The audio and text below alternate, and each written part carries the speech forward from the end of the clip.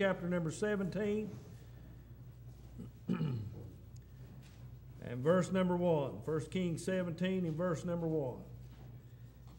And Elijah the Tishbite, who was of the inhabitants of Gilead, said unto Ahab, As the Lord God of Israel liveth, before whom I stand, there shall not be dew nor rain these years, but according to my word. The word of the Lord came unto him, saying, Get thee hence, turn thee eastward, and hide thyself by the brook Cherith, that is before Jordan. And it shall be that thou shalt drink of the brook, and I have commanded the ravens to feed thee there. So he went and did according to the word of the Lord. For he went and dwelt by the brook Cherith, that is before Jordan, and the ravens brought him bread and flesh in the morning and bread and flesh in the evening, and he drank of the brook.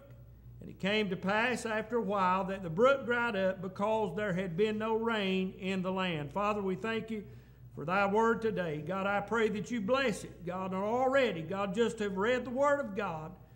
Lord, we know that that is a blessing, and we thank you, Lord, for the bread of life. And I pray, God, you'd help us.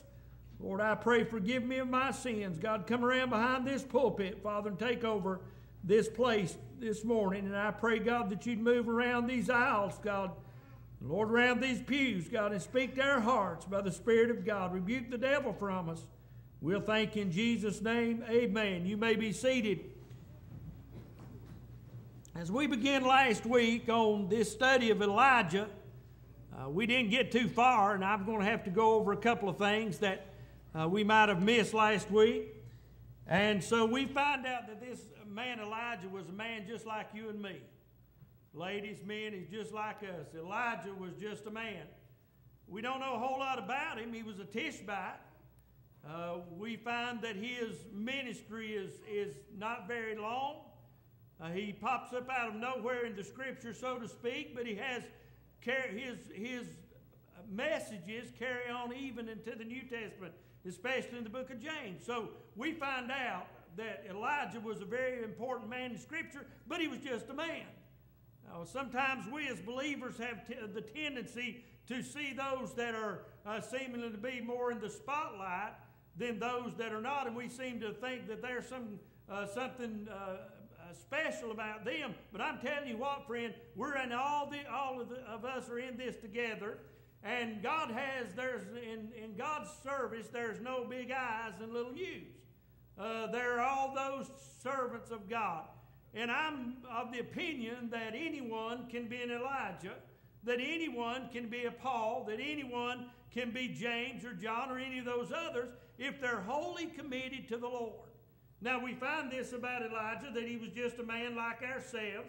Uh, we don't know about his upbringing, but he must have had a pretty good mom and daddy. Amen. He must have raised him and trained him up in the way that he should go. We know that he was living in a day, as we are today, in a day of spiritual decline and apostasy. We know he was living in a day of backslidden believers. He was living in a day where idols were worshiped more than God was worshiped. Uh, where where uh, Baal was, uh, people were worshiping Baal and, and uh, many other false gods they were worshiping in that day. And the children of Israel had turned from God. And so it was such a day when there was a great backsliding, a great falling away, and a great day of apostasy in Elijah's day, something uh, such as we're living in today. It was also a, a the lot of Elijah uh, that he would be asked to perform some very difficult things for God. Some very difficult things Elijah was asked to do for the Lord, but nothing that God asked him to do was he unable to do it. Amen? Now, I'll tell you today, friend, if God puts something before you to do, there is nothing that God will ask you to do that He will not equip you and give you uh, the, the way and the direction to do it in service for Him. But we got to be in the way of the Lord, amen? We've got to be in hearing distance of Him, and we've got to be on the receptive end of hearing what God wants us to do and be willing, as Elijah was willing, and be able, as, as God enabled Elijah, to do the service of the Lord. So he was asked to do some great things and some miraculous things, but all that he did, he did it because God uh, was with him. And so we know that he was, uh, uh, you know, given these hard tasks to do, that which we will cover as the messages go on. And his life was a life that was separated to the call of God. It was separated life to complete dedication to the Lord. And that's where most of us run into our snags is in our dedication to the Lord, our faithfulness to God, our willingness to do what God wants us to do. If we are faithful to God, God will be faithful to us. If we're willing to do what God wants uh, us to do, God will use us faithfully. He will use us in a great way, in a great fashion, but it depends on whether or not we are dedicated to do the work of God. Elijah was, not many in that day were. There were more than Elijah, and we'll find that out later.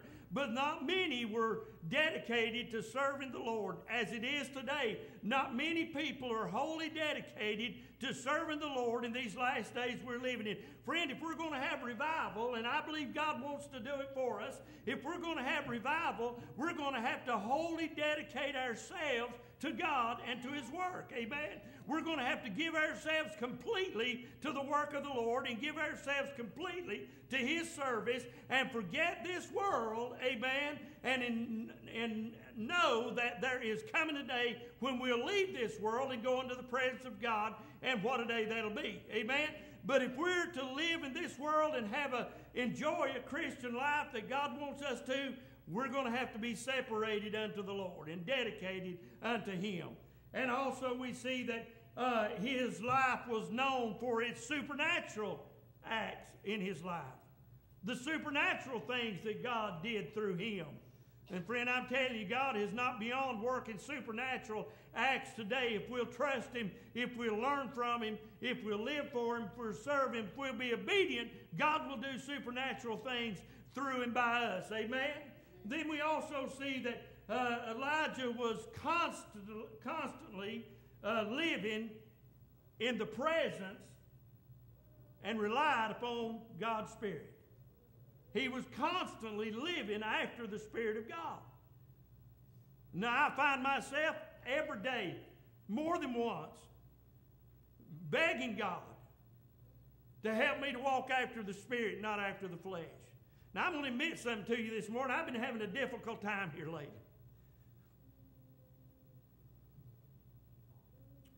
Seems like hell has come by the acre.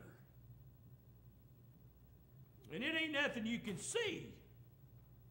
It ain't nothing you can put your finger on, but it seems like the devil wants to do is doing his best to discourage the people of God. I'm not the only one facing having issues, having problems. We call them issues. Well, sometimes that's good and bad. I've got some good issues, but I've got some bad issues. And sometimes it seems like God has, has gone away, but He's not. And Elijah faced such things as you and I face. And he relied upon the strength of God to see him through. And friend, I'll tell you today, the longer we go in this life, the wickeder this world gets, and the more evil this world gets, and the bolder the devil gets in fighting God's people, we're going to face problems. But there's nothing that in the strength of God we can't overcome. Amen? So I'm, I'm going to tell you something. As your pastor, I'm asking for your prayers today. I, the, I don't want the devil to win. Amen. I'm, I'll fight tooth and nail. Amen. If my teeth fall out, I'm going to gum him. Amen. Till Jesus comes. Hallelujah. Amen. Amen. I believe we ought to be strong in the power of the might of God. But listen, if you set out to serve the Lord, don't you expect to get by easy. Don't you expect to get by without a fight from, from the devil because he wants nothing, none of us, to serve him and do the will of God. But Elijah, he, you know, we're going to be ashamed of ourselves probably after we learn how Elijah relied upon the Lord. But Elijah, again, was just a man. He relied upon the presence and the, and the strength of God's Word. The story of Elijah, it revolves around two commandments from God in particular. Number one, it revolves on, on this fact that God told Elijah to go hide thyself. Why go hide himself? Well, what did he just told Ahab?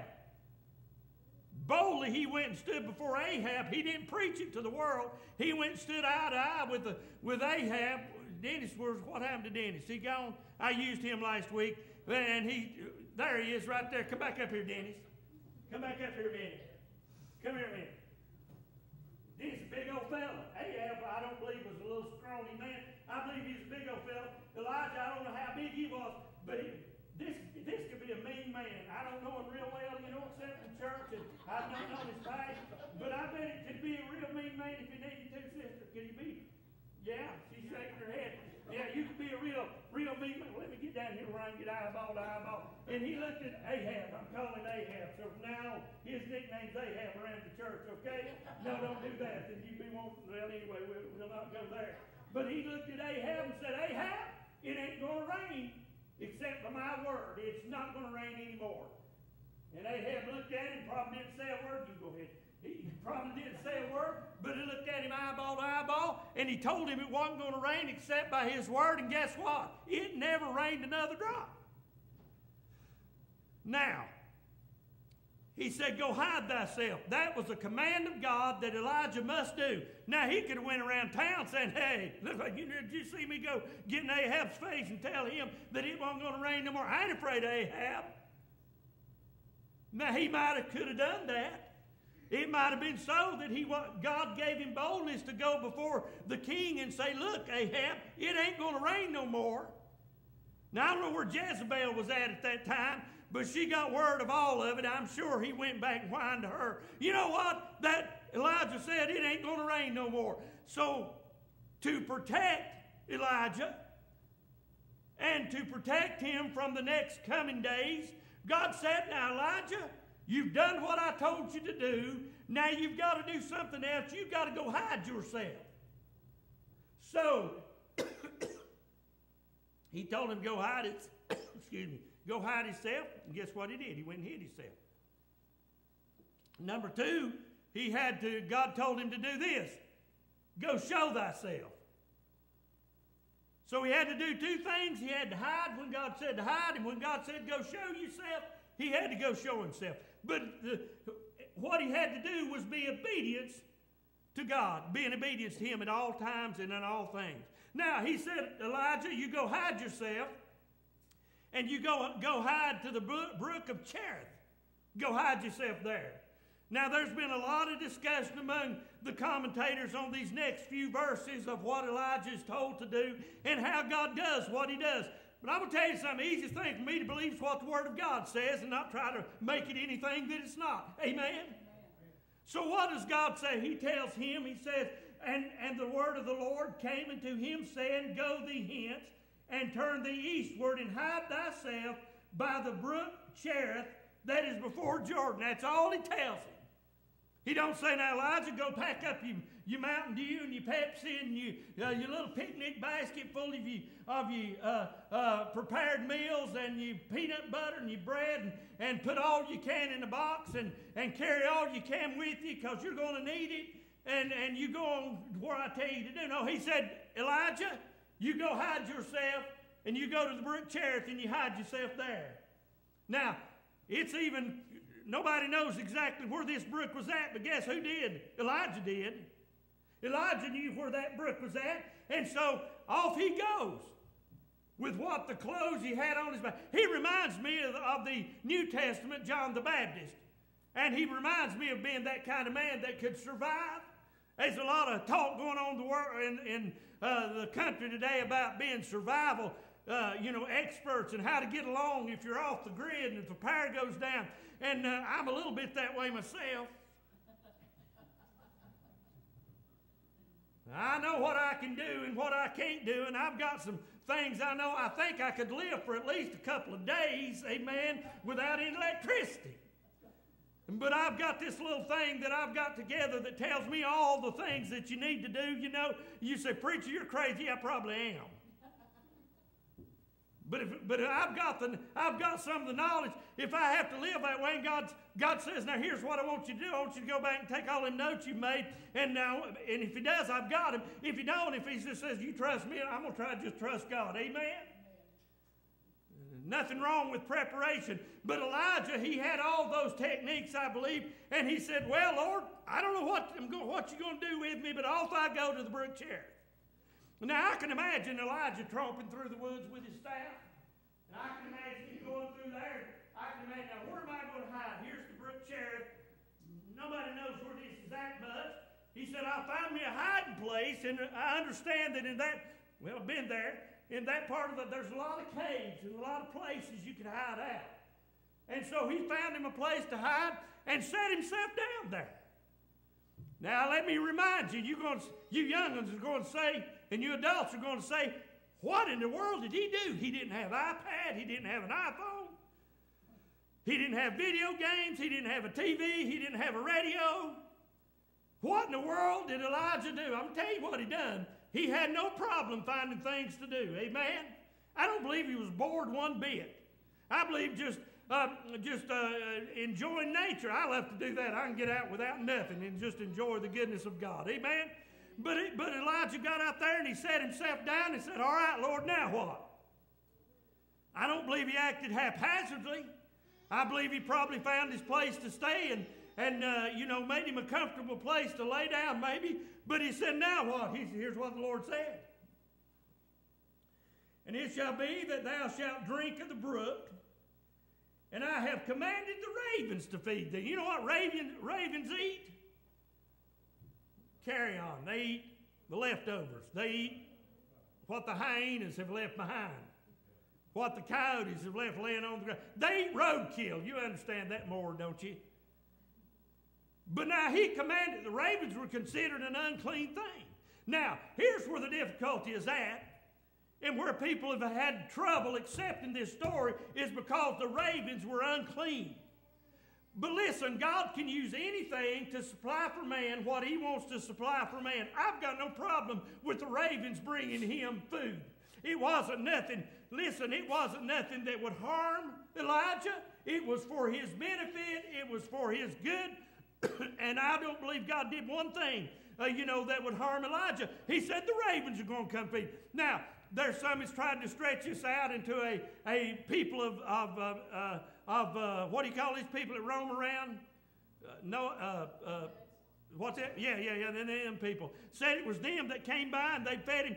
Well, buddy, I won't tell you what, they weren't Baptists they did. I, we're very good around here, but it'd be hard to get somebody to go and feed somebody twice a day, amen, every day for over a year at the same time. So whatever it was, it wasn't man, it was the ravens. So just believe it. Just take the word of God for what it is and just believe it. And so the ravens came in the morning. Here they came with, with, uh, with bread and flesh. And here they come in the evening. He said, What he said? I have commanded the ravens to feed, feed thee. So he went, he went, listen, Elijah now, he went and did according unto the word of the Lord, for he went and dwelt by the brook Cherith, that is before Jordan, and the ravens brought him bread and flesh in the morning, and bread and flesh in the evening, and he drank of the brook. Well, that don't sound too bad, does it? Now, I don't believe he just sat there. He, he got up and he probably made things as comfortable for himself as he could around there with what he had to get. But it come morning time, he'd get up and, oh, I'm going to get breakfast. And went out there and there's the raven sitting there, got him some bread and got him some. Where did they get that? Amen. I don't know. Does it really matter? No. Now, we're talking to a God in heaven, amen, that put the stars up there in the sky. Surely God can give a raven a piece of bread, and uh, or the ravens piece, some pieces of bread and some, some good clean meat. I don't know. He may have went back to Ahab. They may have flew back to Ahab's palace and stole their food. I don't know. But, he, amen, he ate good. Bread and flesh in the morning, bread and flesh in the evening. And so he did that and he drank of the brook, that good cool water out of that brook. What is God doing? God is supplying the needs of Elijah. He had a place to sleep. He had a place to stay, uh, you know, stay comfortable. He had a place uh, that he was protected uh, from the from Ahab. God said, I shall supply all thy, thy needs according to my riches and glory by Christ Jesus. And it was good in Elijah's day, it's good in our day. So God supplied his needs according to his riches and glory by Christ Jesus. So there's Elijah. He's having a pretty good time, isn't he? Now look, after some time, probably about a year, the brook dried up. here's where Elijah's faith comes into action again. Don't you know Elijah was going to school for a year learning about what God was going to do? Don't you know Elijah meditated on the things of the Lord daily? Enjoyed the good things of God out in nature daily, and nothing wrong with that. I like that. But he was learning of the Lord. Now, we're in trouble. I've been introducing this message for two weeks. I mean, two weeks I've been in, and it gets better and better. Every time I studied, it gets better and better because Elijah was a man like me that God did extraordinary things because he was willing to be used of God. Amen. That's it. Now, let's look at a few things real quick. Number one, we see that Elijah, from these verses that we read to you, Elijah was one that heard the voice of the Lord. He heard his voice. He was close enough to hear his voice. Oh, friend, that we would be close enough to God that we would hear his voice and live in such closeness to God that we'll be able to hear him and be able to uh, do what God wants us to do simply by hearing his voice. The word of the Lord came to Elijah. Now, how he spoke to him exactly, I don't know. It, then God spoke sometimes with an audible voice. Sometimes God sent an angel, uh, the angel of the Lord, even to speak to people. But however it was, we know that the Lord God, He told Elijah what to do. Listen, if we'll live close to God, we won't have no trouble understanding what God wants us to do in our life. Amen? whether it be through the Word of God or that still small voice inside of us, amen, we live close to God, we will be able to hear the voice of God and His leading in our life. I'm hurrying. We know that God, that Elijah received a promise from God. I'm going to take care of you. Do what I want you to do, and I'm going to take care of you. God's promise is always a certainty. He said, It shall be. He told Elijah, It shall be. And when he said, It shall be, it was. Amen. When God commands us and when God, uh, when we follow after God, when God says something that He's going to do in our life, God always does. And what God says He will do will always be sufficient for us. My grace is sufficient for thee. Listen, you may you listen, you may have a lot of, of disrespect for the way this world's going, but I want to tell you, I'm not relying on this world for my sufficiency. I'm relying upon God. Amen. And God will be sufficient, and the time of God in our lives that we live and serve Him and do His will, God will always be sufficient. He will always supply for us. His grace is sufficient. Now, there were some conditions on what uh, on the promises that Elijah received of God. There was conditions to that, and that condition was, if you will.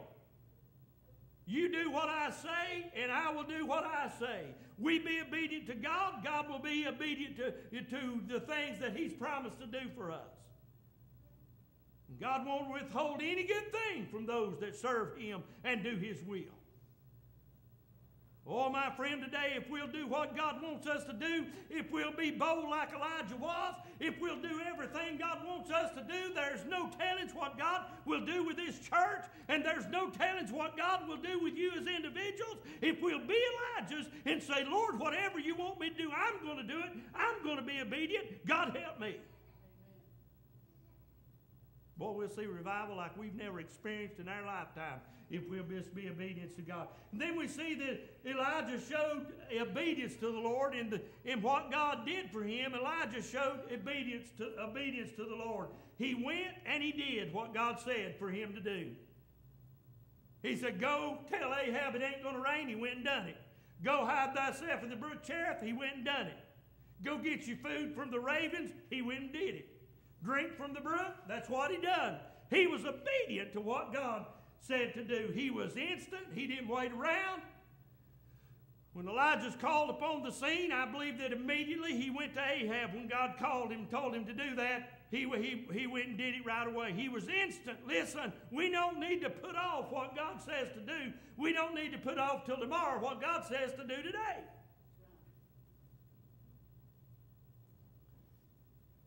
Because one more day, friend, is one more day lost. One more minute is one more minute lost.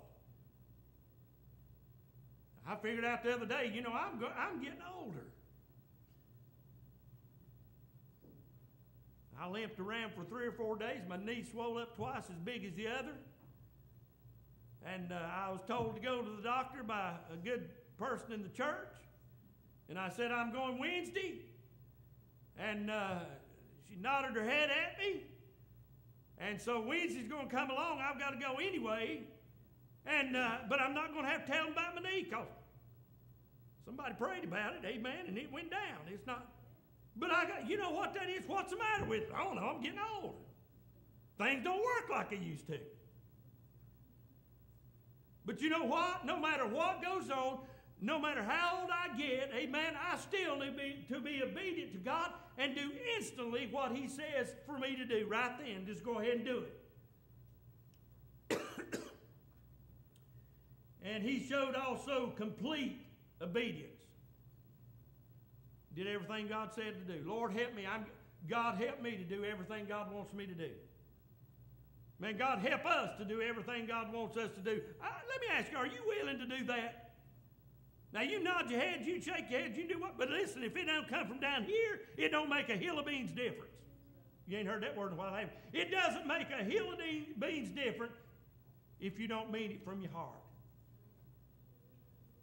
If in the still small, still of the night, and the small voice you that comes to you and says, "You do this," you might not have tomorrow. You better do it today, friends. You better do it. We better be obedient to God.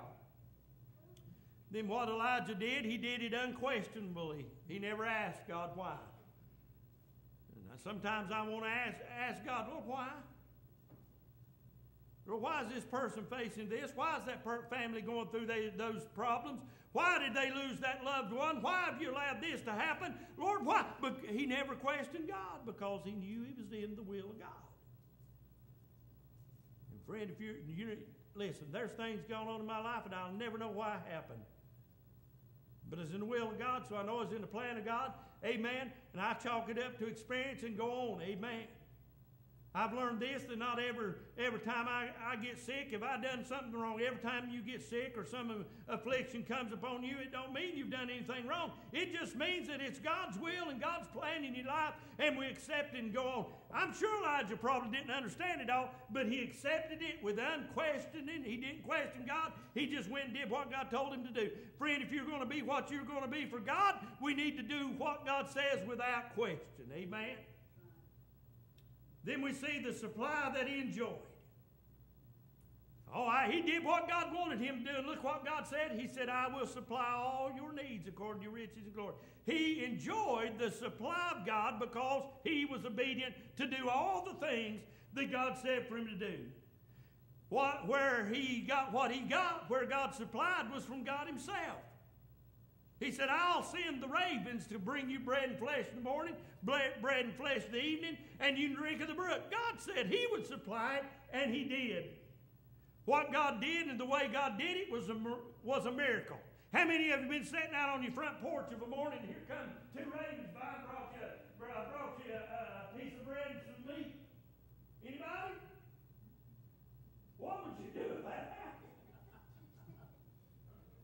Brother Matt, uh, some, Monday morning after church on Sunday night, and you're sitting up there on that porch, and here comes a crow. We use a crow.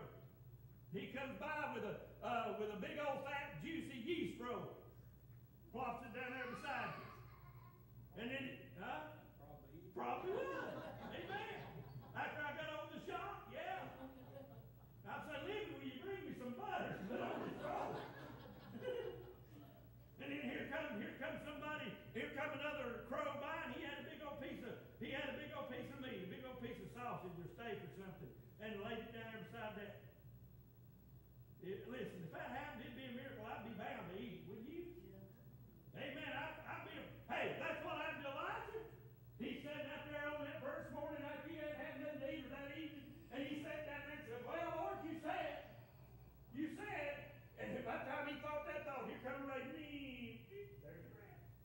Here comes his buddy right by me. There's you. And on the way out, he thought, man, that, that was good. I like having that piece. Here comes right me. There's more rat. I don't believe he lacked for one thing. We got through. He got up. He got down on his knees. He got before the Lord. Said, Lord, thank you for the food. Thank you for this water. And had him a good cold drink of water. Amen. Hey, it was miraculous what God did for Elijah was miraculous, but God ain't changed one lick. If we need it from God, God will work miracles in my life and in yours. Matter of fact, He does every day. Amen. Amen. Every day, Works a miracle in my life. Do you ever not feel like getting out of the bed? Come on, be honest. Whether it's physical or whether it's emotional, whether it's mental, do you ever feel like just not getting out of the bed? Lord, just let me stay in the bed. Just, I don't want to face it today. I don't want to. I don't want to bother, be bothered with nothing today. God, just let me lay here in the bed and sleep today. It don't work that way, friend. Sometimes I take my right foot and I kick myself in the left foot till it's over the side of the bed. And then I take the back of my hand and grab the back of my head and I jerk my head up off the pillow and hope that that dog will nip on me so I'll get out of the bed. Now, you ain't none of you ever had issues like that, but I'm just going to tell you sometimes it takes almost that to just to get me going during the day because I don't want to do it. Now, what I'm doing is opening myself up to you this morning letting you know that I know how you feel when you wish that you could just not go through the day. It may be because every bone in your body aches, or it may be because that there's things going in your life that you just don't want to face, you just don't want to deal with. But I'm telling you what, hallelujah, God was with Elijah, and He'll be with you. Amen. So he enjoyed everything that God gave him, and he enjoyed its sufficiency. And then, last of all, we see that he of all this experience, we see that he was tested. Now, for a year now, or about, or about a year, Elijah sat there every day, enjoying the. He probably got, don't you think he probably got pretty used to that? Probably gained a few pounds. Had the food coming regular got about his daily routine, things that he was doing, whatever it was, I don't know. I'll ask him when I get to heaven, sit down with him. I say, Elijah, how in the world you make it all that time without your iPhone? And I'm sure he'll tell me, you know, I'm sure that I'll get a good lesson on, on how he went through all of that. If it matters to me when I get to heaven, it may not even matter. But I'm curious as to what all he did. But it come time when he was tested. he got up one morning, sat down on his, probably had him a table by then. I just imagine Fred Flintstone style. Sat down at his table, his rock table. Ray was late this morning. Lord, where's that raven at? 365 days that raven's coming every morning and right on time, and the Lord, it's not here. Neither one of them's here. They ain't got no bread, they ain't got no flesh. Lord, I'm hungry. And he looked over there and, Lord, that creek is gone. It's dried up. There's not a creek. I noticed it been getting lower, but there's not a drop in there today for me to drink. Now the testing comes.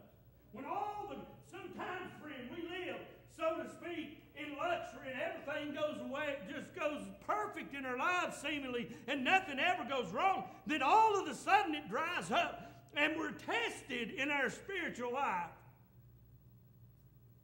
But you remember, the two things that Elijah done was he heard and he did what God said to do.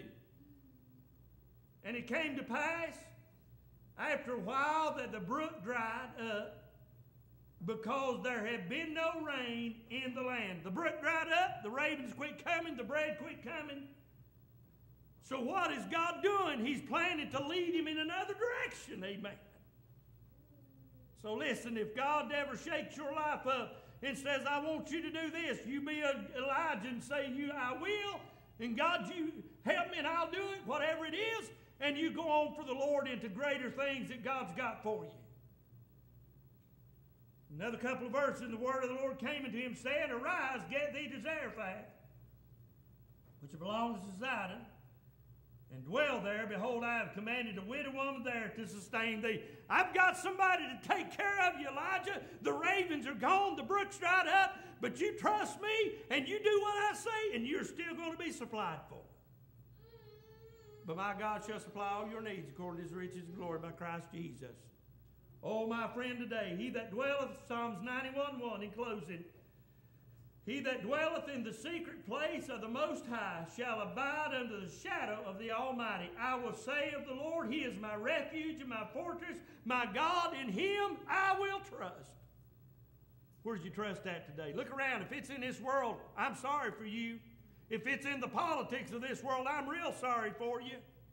If it's in the politicians of this world, oh, I'm so sorry for you. But if your hope is in God, if your hope is in His plan, if your hope is in His Word, amen, hallelujah, God in heaven is going to see us through.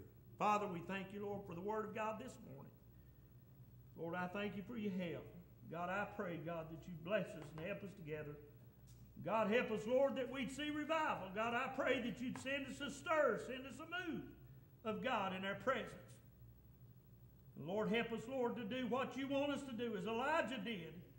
Lord, in this, in this fierce day of evil that we live in, God, help us to be Elijahs and serve you and do your will without question. Not regarding the cost, not regarding the consequences. Help us, Lord, to serve you in Jesus' name. Amen. While every head's bowed, no one looking around.